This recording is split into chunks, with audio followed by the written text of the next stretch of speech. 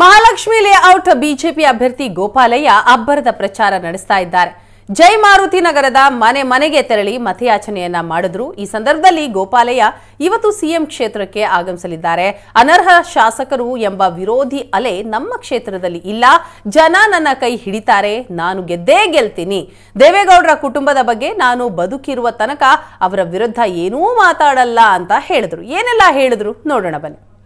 Mahalakshmi ಲೇಔಟ್ನಲ್ಲಿ BJP ಅಭ್ಯರ್ಥಿ ಗೋಪಾಲಯ್ಯ ಅವರು ಅಬ್ಬರದ ಪ್ರಚಾರವನ್ನು ಮಾಡ್ತಾ ಇದ್ದಾರೆ. ನೆಲ ನರೇಂದ್ರ ಬಾಬು ಅವರು ಕೂಡ ಸಾಥನ ಕೊಟ್ಟಿರುವಂಥದ್ದು. ಈಗ ನನ್ನ ಜೊತೆ ಗೋಪಾಲಯ್ಯ ಅವರಿದ್ದಾರೆ ಸೊ ಇವತ್ತಿನ ಒಂದು ಪ್ರಚಾರ ಕಾರ್ಯ ಯಾವ ಥರ ಇರುತ್ತೆ? ಅದರ ಜೊತೆಗೆ ಸಿ ಕೂಡ ಕ್ಷೇತ್ರಕ್ಕೆ ಬರ್ತಾ ಇರುವಂಥದ್ದು. ಸರ್ ಇವತ್ತಿನ ಪ್ರಚಾರ ಕಾರ್ಯ ಯಾವ ಥರ ಇದೆ? ಅದರ ಜೊತೆಗೆ ಸಿ ಕೂಡ ಬರ್ತಾ ಇದ್ದಾರೆ.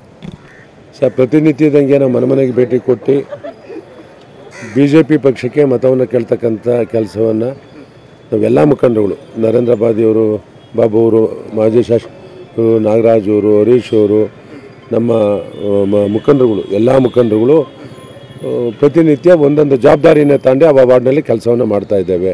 ಇದನ್ನು ಜನ ಇಲ್ಲಿ ಈ ಕ್ಷೇತ್ರದಲ್ಲಿ ತೀರ್ಪು ಕೊಡ್ತಕ್ಕಂಥದ್ದು ಬಿ ಜೆ ಪಿಯ ಪರವಾಗಿ ನೂರಕ್ಕೆ ನೂರು ಭಾಗ ತೀರ್ಪನ್ನು ಕೊಡ್ತಾರೆ. ನನಗೆ ವಿಶ್ವಾಸ ಇದೆ.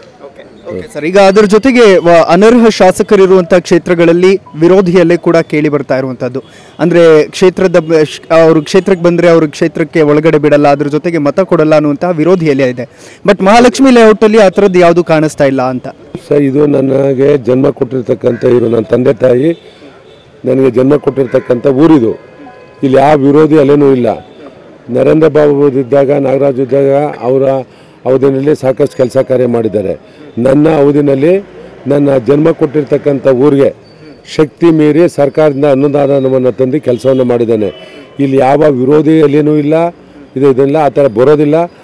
ಇದನ್ನು ಇದು ಬಹುಶಃ ಅತಿ ಹೆಚ್ಚಿನ ಮತವನ್ನು ಬಿ ಜೆ ಪಿಯ ಕಮಲದ ಗುರುತಿಗೆ ಈ ಕ್ಷೇತ್ರದ ಮಹಾಜನತೆ ಕೊಡ್ತಾರೆ. ಇವತ್ತಿಲ್ಲಿ ಆಗ್ತಾ ಇರ್ತಕ್ಕಂಥ ಅಭಿವೃದ್ಧಿ ಕೆಲಸಗಳು ಮತ್ತು ಜನ ನೆಮ್ಮದಿಯಿಂದ ಇದ್ದಾರೆ. ಚುನಾವಣೆ ಬಂದಾಗ ವಿರೋಧ ಪಕ್ಷದವ್ರು ನಮ್ಮ ಮೇಲೆ ಕ- ಇದು ಇದನ್ನು ಹೇಳ್ಬೋದು ಇದನ್ನು.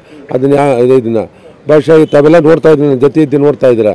ಜನ ಗೋಪಾಲ ಹಿಂಗೆ ಬಿ ಜೆ ಪಿಗೆ ವೋಟ್ ಹಾಕ್ತೀವಿ ಅಂತಕ್ಕಂಥ ಆ ನಗುಮುಖಂದು ಅದು ಹೇಳ್ತಾರಲ್ಲ ಅವ್ನ ಯಾರನ್ನೂ ಕ ಕುಂಟ್ಕೊಳಕ್ಕೂ ಆಗಲ್ಲ ಪರ್ಚೇಸ್ ಮಾಡೋಕ್ಕೂ ಆಗೋದಿಲ್ಲ.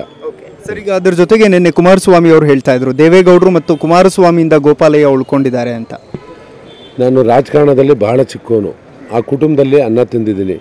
ಇದನ್ನೇ. ನಾನು ಹೇಳಿದ್ದೀನಿ ನಾನು ಬದುಕಿರೋವರೆಗೂ ಅವರ ವಿರುದ್ಧ ಎಲ್ಲೂ ಧ್ವನಿ ಎತ್ತೋದಿಲ್ಲ. ಭಗವಂತ ಅವ್ರಿಗೆ ಅವ್ರ ಕುಟುಂಬಕ್ಕೆ ಭಗವಂತ ಒಳ್ಳೇದು ಮಾಡಲಿ ಅಂತ ಅಂದ್ಬಿಟ್ಟು ಆ ಭಗವಂತನಲ್ಲಿ ಪ್ರಾರ್ಥನೆ ಮಾಡ್ಕೊತಾನೆ. ಓಕೆ ಓಕೆ, ಇದಿಷ್ಟು ಗೋಪಾಲಯ್ಯ ಅವರ ಮಾತು, ಅದೇನೇ ಇದ್ರೂ ಕೂಡ, ಸೊ, ಅನರ್ಹನಾಗಿದ್ರೂ ಕೂಡ ನಾನು ಜನ ನನ್ನನ್ನು ಕೈ ಹಿಡಿತಾರೆ. ಅದರ ಜೊತೆಗೆ ಬೇರೆ ಕ್ಷೇತ್ರಗಳಲ್ಲಿ ವಿರೋಧಿಯಲ್ಲಿ ಇರಬಹುದೇನೋ ಗೊತ್ತಿಲ್ಲ, ಆದರೆ ನಮ್ಮ ಕ್ಷೇತ್ರದಲ್ಲಿ ಜನ ಕೈ ಹಿಡಿತಾರೆ ಅನ್ನುವಂತಹ ವಿಶ್ವಾಸ ಇದೆ ಅಂತಿದ್ದಾರೆ. ಕ್ಯಾಮ್ರಾ ಪರ್ಸನ್ ಗುರುಮೂರ್ತಿ ಜೊತೆ ಸೈಯದ್ ಹಿದಾಜ್ ಸುವರ್ಣ ನ್ಯೂಸ್ ಬೆಂಗಳೂರು.